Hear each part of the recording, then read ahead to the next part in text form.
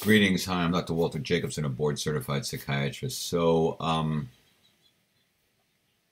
right, you are in a relationship, uh, whatever it is, whether you're it's a relationship, uh, you're living together, you're married, you're partners, whatever it might be, you fight, uh, and then uh, and in the heat of anger, you say, well, maybe we should get a divorce, or if you don't like it, get out.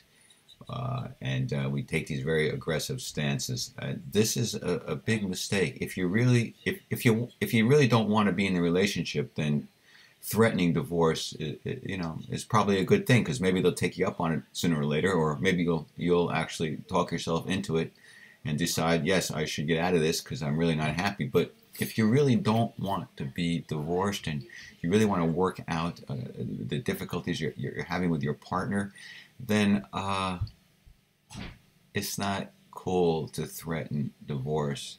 To say, you know, if it weren't for me, you'd be out on the street, you'd be homeless. You know, you, you know, if uh, you know, if you don't listen to me and do what I say, then I'm going to divorce you and and then you you know you're going to uh, be very unhappy and have a worthless life and oh and by the way I'm going to cut you off from any kind of uh, reasonable spousal support and do everything I can in my power to cripple you uh physically, emotionally, spiritually, financially. Man, if you if you're upset with your partner, um,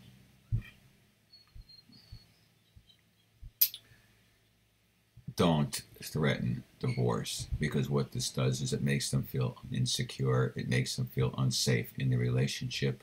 Uh, and uh, and you may think that's good. You may think that'll make them subservient. That will make them compliant. But it just makes them insecure, unhappy, and actually resentful as well.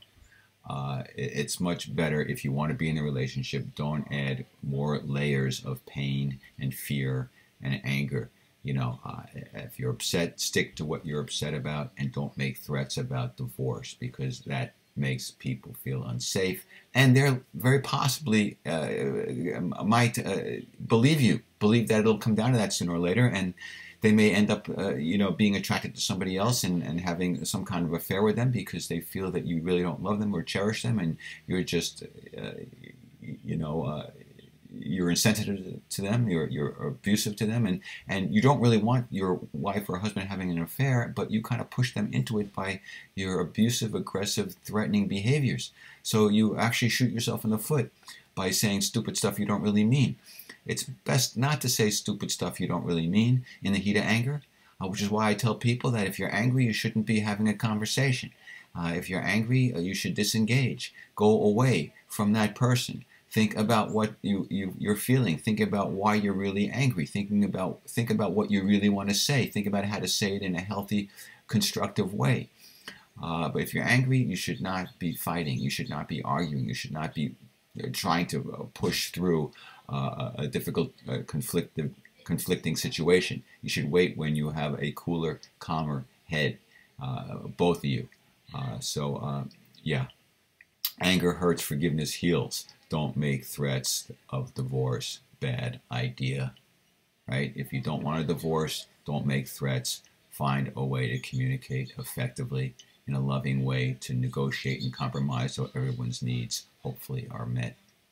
All right that's it. Take care. Peace be with you. See you next time